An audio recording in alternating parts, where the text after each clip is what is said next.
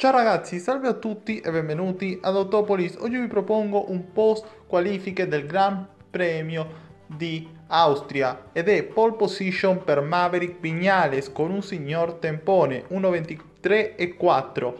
Non è un tempo da record, il record del tracciato appartiene a Mar Marquez con 1.23 e 0 ottenuto la passata stagione, ma comunque è un tempo del tutto rispetto. Per lui gomme medie all'anteriore, soft al posteriore. Seconda posizione per Jack Miller con un tempo di 1.23 e 5. Per lui entrambi gomme soft. Grandissima sessione di qualifica. Terza posizione per Fabio Quartararo con un tempone di 1.23 e 5 pure lui medie all'anteriore, soft al posteriore. Quarta posizione per Andrea Dovizioso e su Andrea mi fermo un pochino perché è stato confermato dal suo manager che non sarà più pilota ufficiale Ducati per la stagione 2021. Quindi Andrea si dovrà trovare una nuova sistemazione.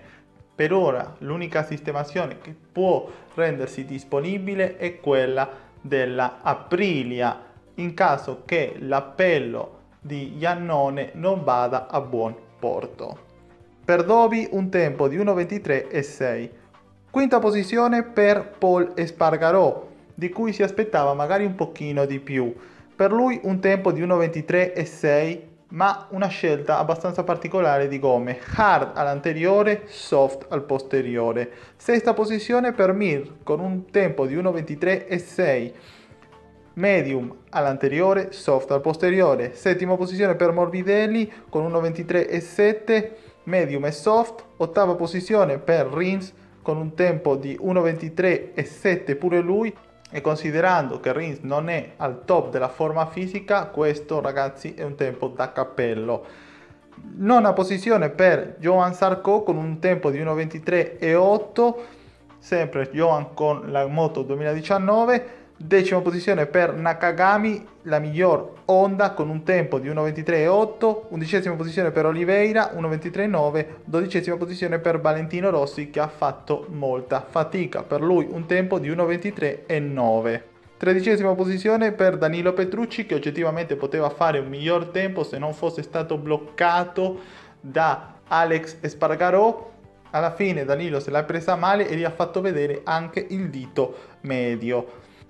Quattordicesima posizione per Alex Espargarò, per lui un tempo di 1.24 e 1. Quindicesima posizione per Cal Crutchlow, sedicesima per Iker Lecuona, diciassettesima per Brad Binder, diciottesima posizione per Alex Marquez, diciannovesima per Stefan Brader, le onde HRC ufficiali Repsol che stanno facendo davvero davvero tanta fatica ventesima posizione per Bradley Smith, ventunesima per Tito Rabat e ventiduesima per Michele Pirro. Il delta tra il miglior tempo e il peggior tempo di questa sessione si aggira intorno ai due secondi. Ma ora senz'altro vi parlo di quello che è successo con Andrea Dovizioso e Ducati ed inizio proponendovi le dichiarazioni del manager di Dovizioso Simone Battistella Abbiamo comunicato a Ducati che Andrea non ha intenzione di continuare per i prossimi anni, che adesso vuole concentrarsi sulle prossime gare, ma che non ci sono le condizioni per continuare insieme. Non lascerà comunque la MotoGP anche se non ci sono negoziazioni in corso con altre squadre. È stata una riflessione fatta nel corso dell'ultimo periodo. Andrea si sente molto più sereno adesso che ha preso questa decisione. Beh ragazzi, la ragione per cui Dovi non verrà rinnovato è semplice. Alla base risiede una questione nettamente economica. Vi dico tra l'altro che rimangono dentro della Ducati due sedili liberi per il 2021, ma in teoria un sedile sarebbe già stato aggiudicato, quindi rimarrebbe solo uno, che potrebbe, in teoria sempre, andare a finire nelle mani di Jorge Lorenzo, magari c'è una possibilità.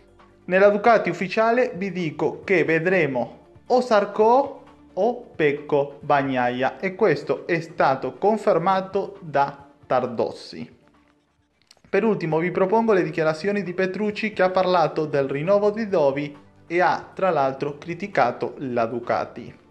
Andrea ha fatto un grande lavoro in questi otto anni ed essere giudicati per le ultime due gare o per le prossime due non mi sembra una grande idea. Mi aspettavo questa notizia, conosco Andrea molto bene e conosco molto bene anche la Ducati.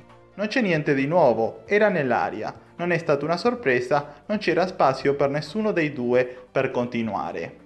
I Ducati sono convinti che il potenziale di questa moto sia molto diverso rispetto a quello mostrato da Andrea.